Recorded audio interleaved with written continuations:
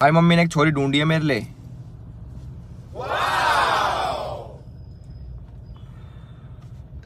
पता कैसी है वो? दादी जैसी। टाइम पे सो जाना टाइम पे खा लेना टाइम पे हग लेना टाइम पे मूत लेना। मैं कहा ठीक है दादी। मम्मी कह रही ऐसी वही करे छोरी। समझदार बालक तो ऐसा ही वेख ना के साथ है करे जाए जो। जिन्हें दांत फाड़न ते फुर्सत ना रहे। हम फाड़े दांत तो मतलब हम आवारा बाड़क हैं। हाँ तो एक तो घर बसा